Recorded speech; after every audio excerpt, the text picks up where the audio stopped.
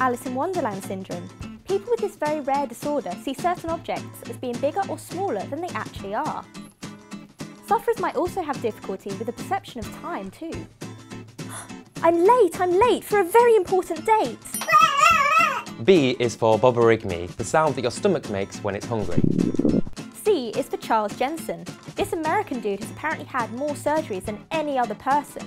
Between the years of 1954 and 1994, he had surgery 970 times to remove tumours. D is for decapitation.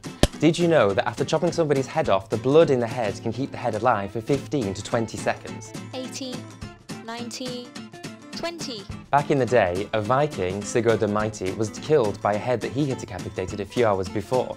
He tied the head to a saddle on his horse, and the teeth grazed his leg, and he later died of a bacterial infection. Epidemics. In 1962, an epidemic of laughing broke out in Tanzania, affecting thousands of people, so much so that they had to close a school. Symptoms included crying, fainting, rashes, and, of course, laughing. F is for feet. Got sweaty feet? Well, that's probably because there's 250,000 sweat glands in each foot. Well, that actually means that each foot can produce about a pint of sweat a day. Bitter end, or lager end. Scientists also believe feet get bigger with age, with an average increase of one shoe size by the age of 70. G is for gold. Are you feeling skint? Well, every one of us has got about 0.2 milligrams of gold circulating in our blood. Although, hold on a second, it's not really going to help you pay the rent, because you probably need the blood of about 40,000 people just to make one gold coin. H is for hiccups. We've all wondered at some point or another, just why do we hiccup? Well, hiccups are caused by a spasm in your diaphragm.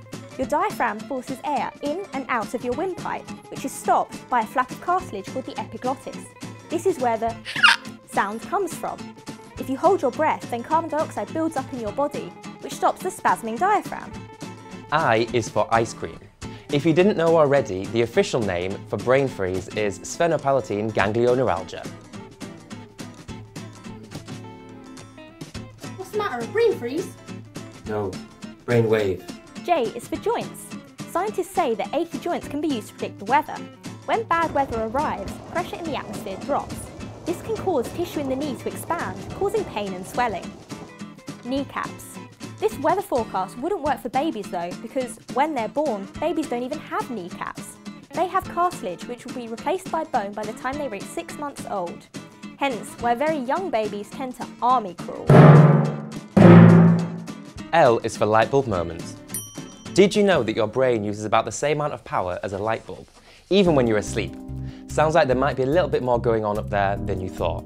M is for methemoglobinemia. What's that, you may ask? Well, it's a rare genetic condition that colours skin blue. That sound when you crack your knuckles?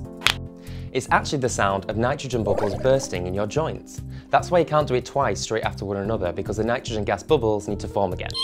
Oh, o is for old person smell. Yeah, there's actually a name for that. It's called nonenal. The smell is actually part of the natural ageing process. A recent study found that there are different types of smells for different age groups. Young person smell, middle-aged person smell. The same study found that old person smell is actually more pleasant than younger person smell. P is for pregnancy. Along with the odd cravings that pregnant women get, they also have been well reported to have these really odd dreams, often dreaming of things such as tadpoles, worms, potted plants, puddles, and even sex.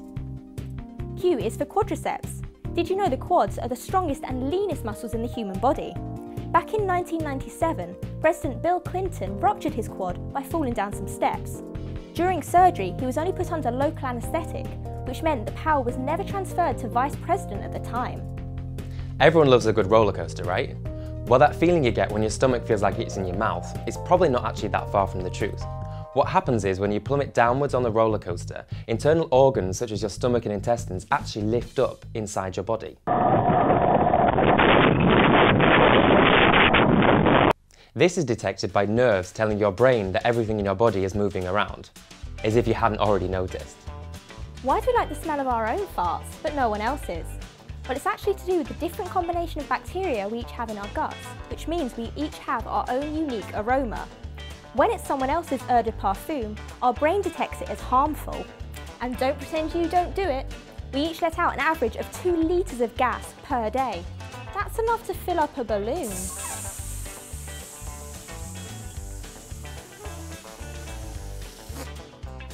Whilst twins are genetically identical, did you know that they don't have the same fingerprints?